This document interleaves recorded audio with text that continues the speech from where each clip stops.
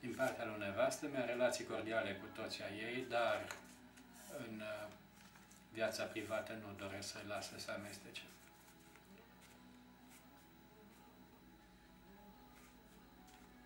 Icrunt, în 2007 au început să se strice și relațiile din familia noastră. Eu mi-am închis firma pentru că am onorat doar o singură comandă. Mi-am vândut mașina și efectiv săptămânal, o dată pe săptămână ieșeam să-mi pun un bilet la loto. În rest, în casă, să nu supăr niște imbecili. Cum ieșeam din casă, începeau manevrele, șmecheriile, provocările. În perioada aia și nevastă mea s-a portat foarte urât cu mine. Dar norocul meu că am aflat de ce, de unde e sursa. Eu sper că își vor da seama de adevăr și să mă creadă că intențiile mele pentru ei sunt cele mai sincere și faptul că încă locuiesc în apartamentul ăsta, în cartierul ăsta, în orașul ăsta, în țara asta, este doar că iubesc sincer. Altfel, m-aș de aici urgent. În țara asta frumoasă, dotată cu de toate, unii oameni foarte buni, alții catastrofe, dar sistemul e putred, fără o influență pozitivă în sistemul românesc, în toate domeniile, nu se poate progresa, să zic așa. De la Revoluție au trecut 23 de ani și în afară de niște schimbări cosmetice,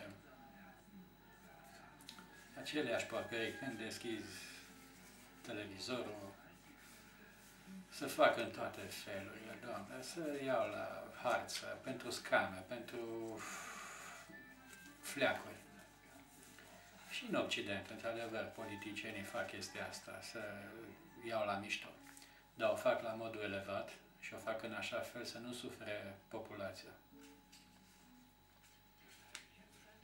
Spun asta pentru că am trăit șase ani în Austria și am simțit sistemul de acolo, chiar dacă nu puteam să particip, eu fiind 60 și din păcate încă sunt.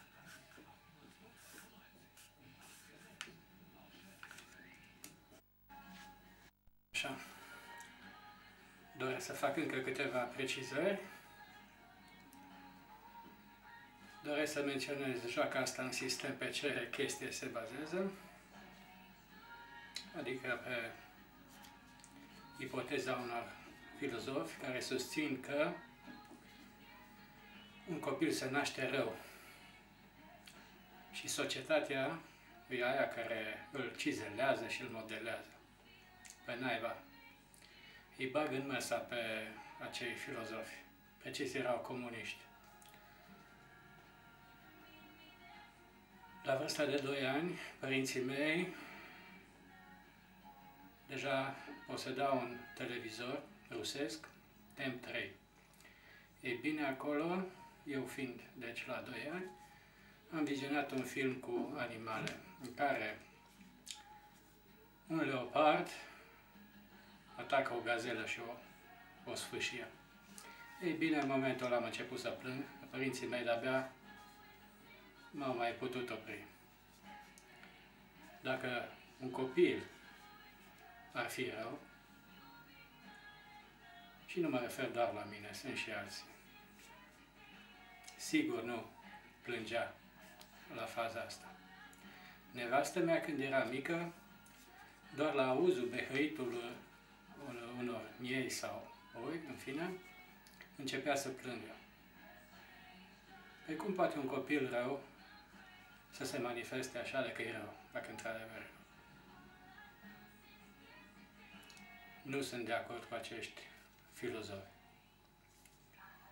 Manevrele din societate mai rău întărită. Pare să miră că se întâmplă ce se întâmplă. Tot auzi produs al sistemului sau victimă a sistemului. Păi, de aia se întâmplă toate chestiile datorită acestor manevre demente, lansate de niște demenți.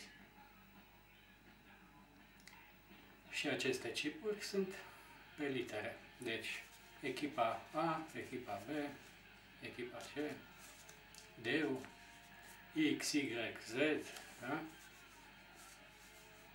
Și pe mine tot vor să mă bage, domnule, și la echipa A, la echipa B, nașul meu la echipa X, nașul meu la echipa B,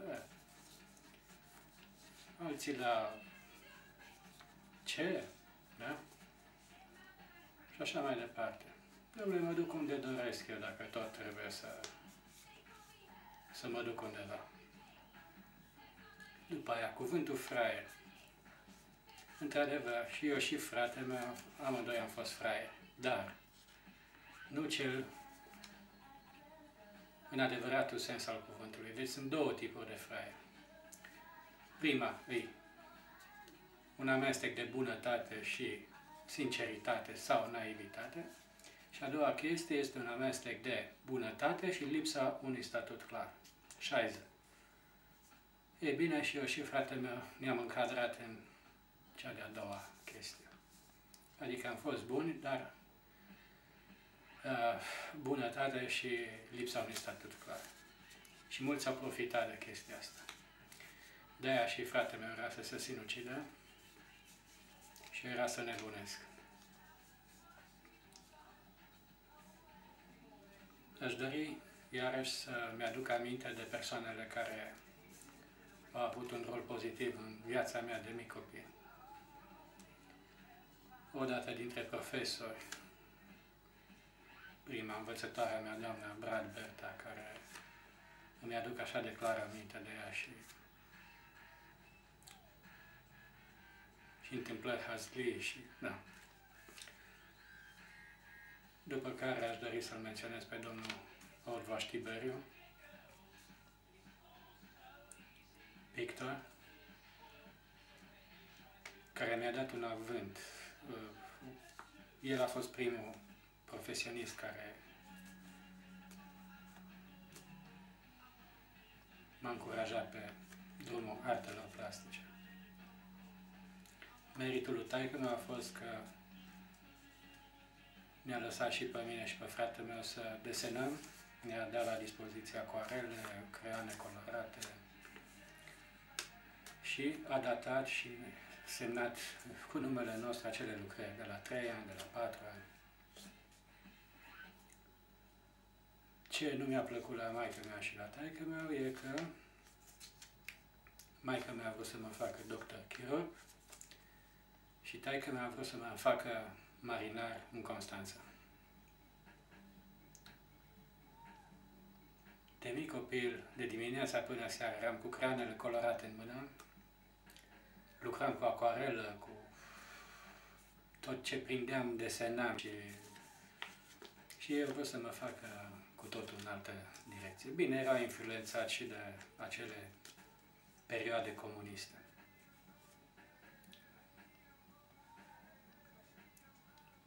Aș dori de asemenea să amintesc pe domnul Munteanu Ionel, care și el m-a ajutat mult în gândirea plastică.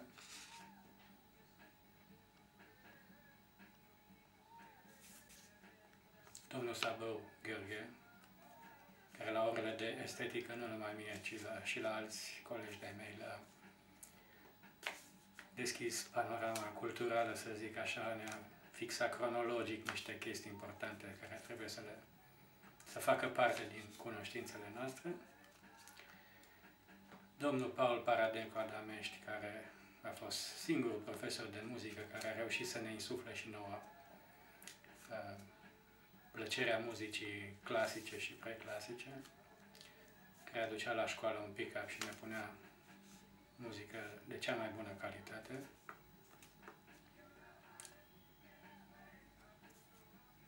Cine ar mai fi de menționat important? Domnul diriginte Big Falvi Nicolae Fiertel, care a participat masiv la și a colegilor mei. Personaje importante în Austria aș dori să menționez pe câteva, care, într-adevăr, niște oameni deosebiți.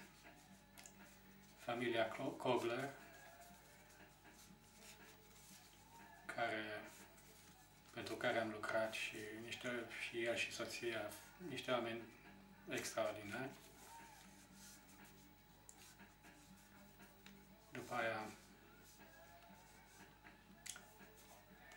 Primarul bătrân al Grafendorfului, Herr Schweiger, un om extraordinar pentru care am cele mai bune gânduri.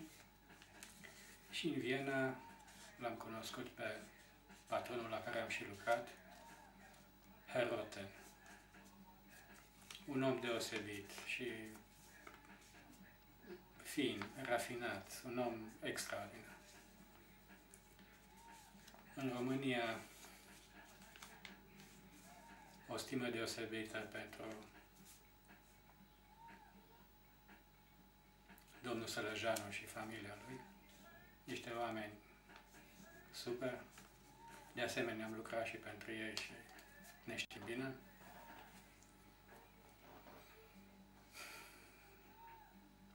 Și ar mai fi și alții, dar ăștia sunt mai importanți.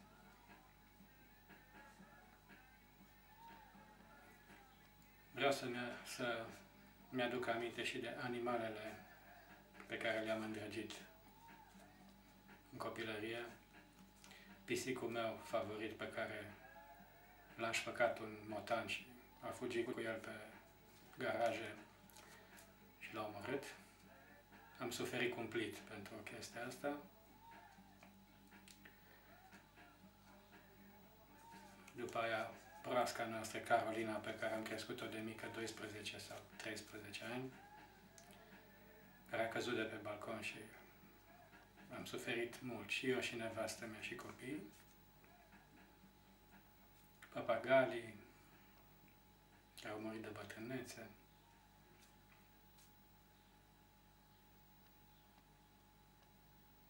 Șobița,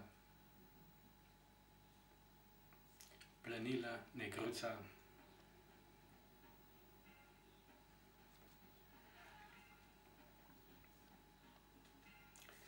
pentru viitor.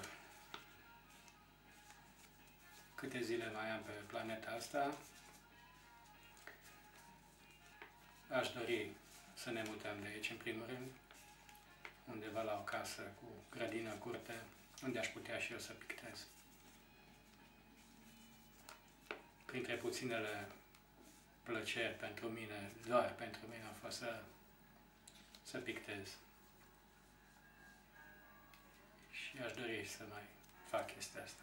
Aici, aici, atmosfera e ciudată, plus spațiu și condițiile necorespunzătoare.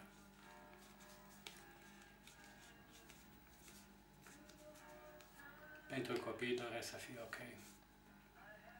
cu ce pot să-i mai ajut, îi ajut. Pentru fratele meu, Virgil, aș dori să fie ok.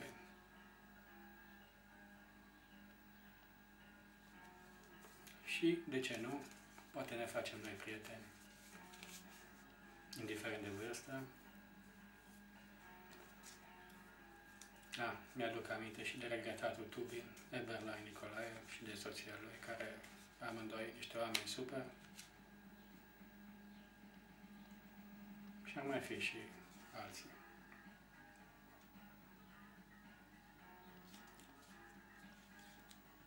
Deci, în mare, cam asta ar fi.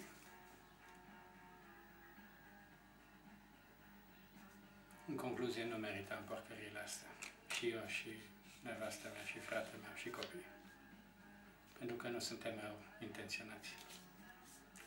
Norocul nostru că am aflat, că altfel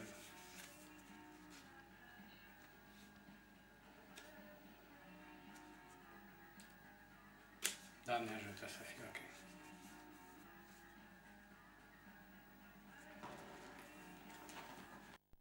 Să înregistrez al treilea document pe care l-am redactat în, în anul 2008. L-am trimis și prietenilor noștri, Biri și Hanții, în Germania.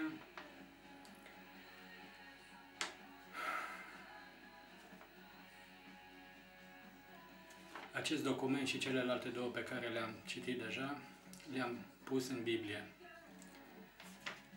Adică sunt convins că exact așa cum le-am redactat, asta, asta este.